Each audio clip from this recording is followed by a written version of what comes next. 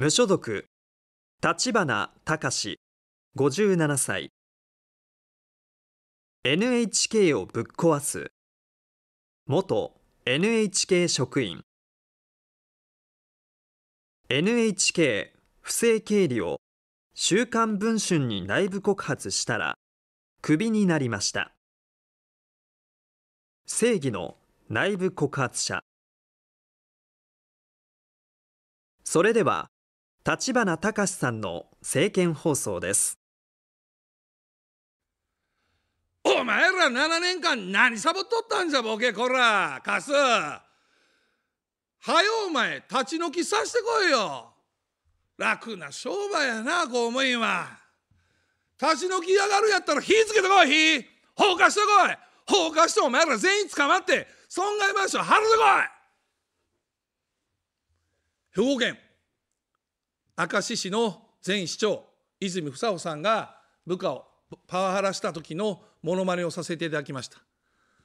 結構ね行政変えていく市を変えていく政治変えていくそういう場合にはね一瞬パワハラみたいなのもあっていいと思うんです僕は。で泉さんもね頑張ってその後市民からまた再任されてね市長に返り咲いて今テレビのコメンテーターとして活躍してます。今回の選挙はこのパワハラ問題をきっかけにスタートしてます。泉さんは実は思いっきりパワハラしてました。しかしながら前知事はパワハラした証拠も何一つ出てこなかった。机をと叩いた。これだけですよ。実は出てきたパワハラっていうのは。でこういった間違った情報が今テレビで流れてます。パワハラをしてない。しかしパワハラをしたという情報が流れてます。そういった今の考え方がおかしい。今テレビが国民を洗脳しようとしている。テレビは国民を洗脳する装置。テレビは核兵器に勝る武器。2年前私がこれをテレビ朝日の「報道ステーション」で言ったらスタジオを追い出されました。今回も昨日テレビ朝日系の ABC 放送に生出演する予定でしたが立花は危険だということで生放送に呼んでもらえなかった。そこには明石市長だった泉房穂さんがいて事実でもないなかったパワハラをあったかのようにして前知事を責め立てていた。いじめそのものでしたよ。私はいじめは絶対に許したくないし許さない。そういった思いで今回選挙に挑戦させていただいております。そして今回の問題点は本来犯罪になる行為。名誉存在になる行為がなぜか内部告発に変身してしまってるんです。今回のことの騒動は自殺された元県民局長が名誉毀損兵庫県やそして知事のありもしないことをでっち上げてそしてそれがメディアがさも本当のように取り上げたことによって噂話が本当のように嘘話が広まってしまって知事がおかしいおかしいってなって今回のより今回の選挙が行われているということなんです。しかしこの県民局長百条委員会で調べたところなんと不倫してたんですよ不倫。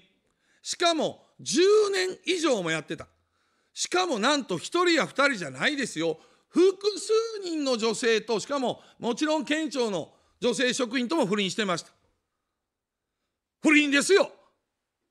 10人ですよ。10年間ですよ。こんなことがばらされたくないから県民局長は自殺したと考えるのが普通ですよ。パワハラなんてもともとなかったんだから。でもテレビ局は一段振り上げた拳下ろせないんですよ。前知事を悪者にせざるを得ない状況になってしまった。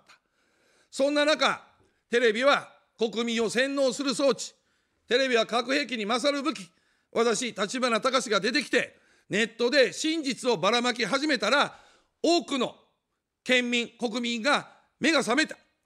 先ほど、立候補の第一声やってきましたが、200人、300人ぐらいいたかな。